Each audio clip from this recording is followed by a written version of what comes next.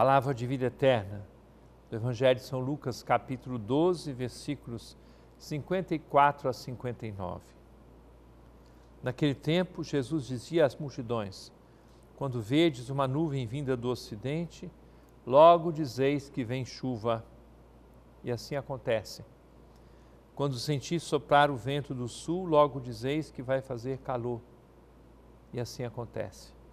Hipócritas, Vós sabeis interpretar o aspecto da terra e do céu. Como é que não sabeis interpretar o tempo presente? Por que não julgais por vós mesmos o que é justo? Quando, pois, tu vais com teu adversário apresentar-te diante do magistrado, procura resolver o caso com ele enquanto estás a caminho. Senão, ele te levará ao juiz, o juiz te entregará ao guarda e o guarda te jogará na cadeia eu te digo: daí tu não sairás enquanto não pagares o último centavo. Caríssimo irmão, caríssima irmã, nós identificamos de que lado vem a nossa chuva, nós percebemos as mudanças das estações, do tempo, conhecemos muitas coisas da natureza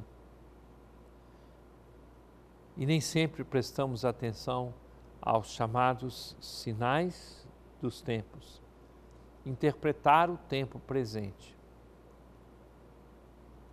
Parece-me decisivo que aprendamos a interpretar o tempo presente no sentido dos apelos que Deus nos faz em tantos acontecimentos.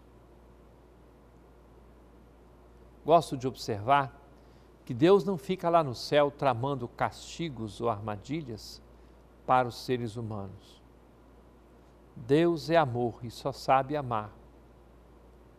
No entanto, os nossos atos aqui na terra trazem as suas consequências, os seus resultados.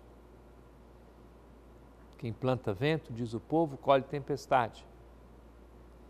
Se nós plantamos a maldade, a inveja, o ciúme, a intriga, a fofoca, os resultados virão. E plantados todos esses todas essas sementes plantadas por nós mesmos. E as consequências aparecem. Distingamos os sinais dos tempos. Percebamos o convite que Deus nos faz a uma vida santa, a uma vida perfeita, a caminharmos de acordo com a Sua vontade. É palavra de vida eterna.